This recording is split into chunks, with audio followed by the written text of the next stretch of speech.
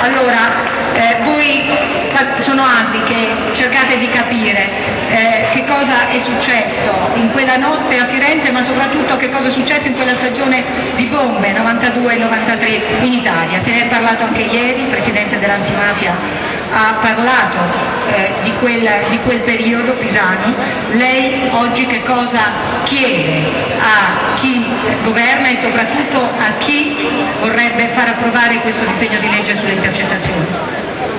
Allora, innanzitutto non tutto il male viene per nuocere, si dice.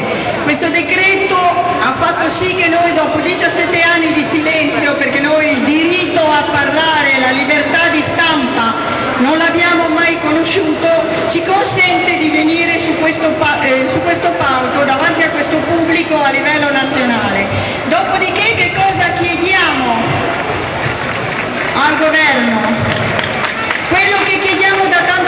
non sono riuscita a, a, contare i comunicati che abbiamo fatto nel corso di questi 17 anni, di questi ultimi 5 anni, per quello che riguarda il disegno di legge sulle intercettazioni. Le intercettazioni sono uno strumento indispensabile per la magistratura, altrimenti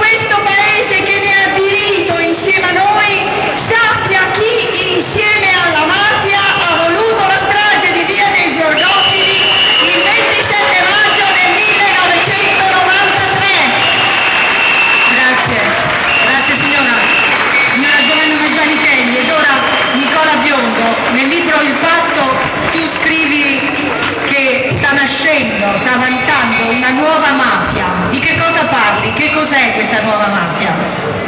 È la mafia dei colletti bianchi, quella, quella che rifiuta di farsi intercettare, quella che non si è sporcata direttamente le mani.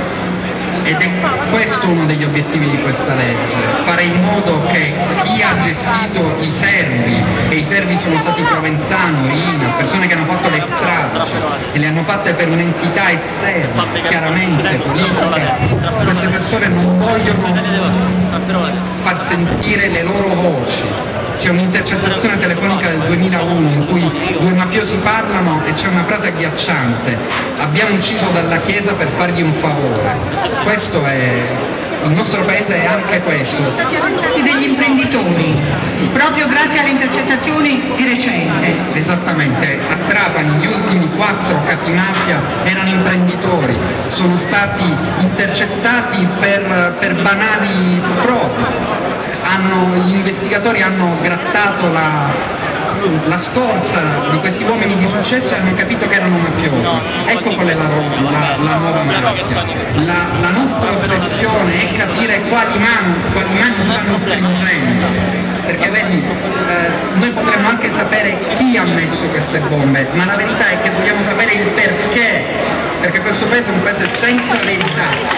Dopo tutte le stragi che si dato ci dicono che non possiamo ascoltare il potere e questo è ignobile.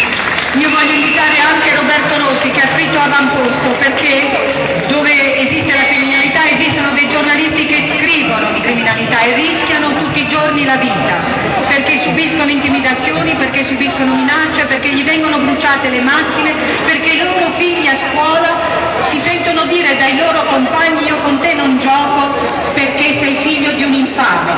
Questo questa regione dove ci sono soprattutto giornalisti minacciati è la Calabria, ma ci sono le regioni del sud, come ci ricorda Walter Molino.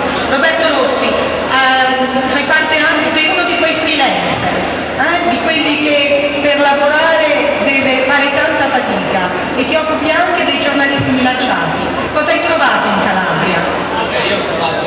Calabria ho trovato 100 passi, eh, i 100 passi raccontati da, dal film di Marco Polo Giordana sono ancora oggi eh, in, in, in, territori come, come quello calabrese dove eh, scrivi e poi ti ritrovi la mattina stesso in il tuo articolo è uscito sul giornale, magari il boss o il gregario mafioso che ti, che ti, chiede, ti chiede, sicuramente non in maniera ecco, di, di tacere, di continuare a fare silenzio. Molto isolamento, sono un sacco di colleghi, molto, spesso, spesso sono giovani, senza, senza grosse tutele, guadagnano molto poco, per fare con passione il loro lavoro rischiano veramente quotidianamente